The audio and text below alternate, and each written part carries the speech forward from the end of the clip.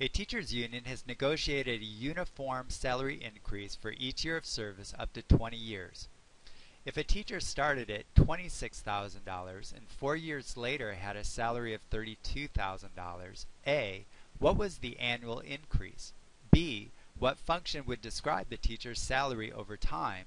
And C. What would be the domain for the function?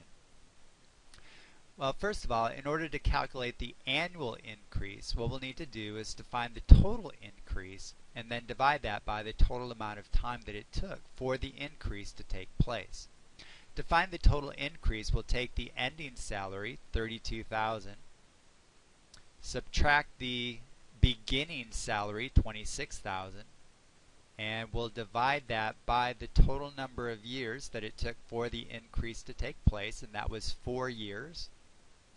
32,000 minus 26,000 is 6,000 and 6,000 divided by 4 is 1,500. So the annual increase was $1,500 per year. So what function would describe the teacher's salary over time? Well, the key words that we read is that the teachers union has negotiated a uniform salary increase.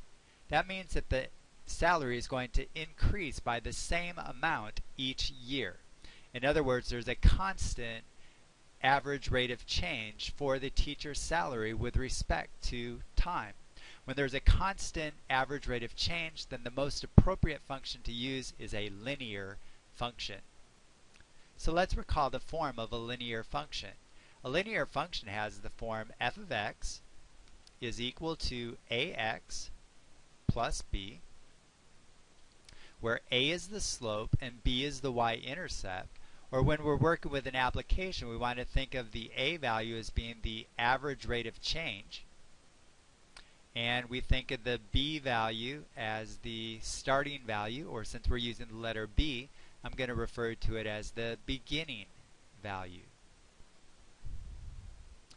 Right, so for this particular situation, uh, we want a function that describes the teacher's salary over time.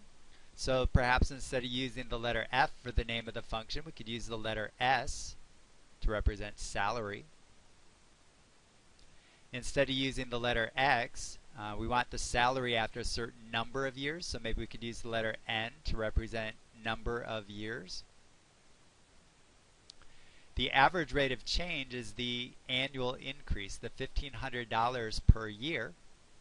So we'll have 1,500 multiplied by the number of years, and then we'll need to add that to the starting or the beginning salary, which was 26,000.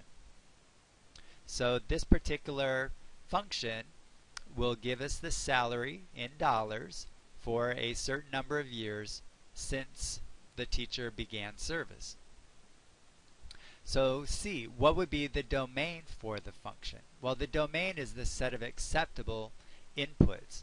Uh, in this case, I'm assuming that the salary doesn't go up continuously. The teacher would get an increase each year. So, um, so we would have the initial year. Uh, we'll write domain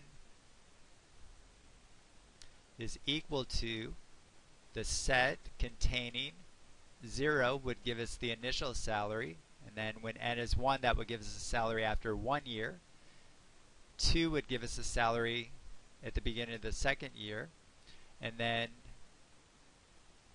we would continue substituting in values but this is only good for service up to 20 years so we would include values up to 20 so the domain is equal to the set of n values that include 0, 1, 2, all the way up to 20.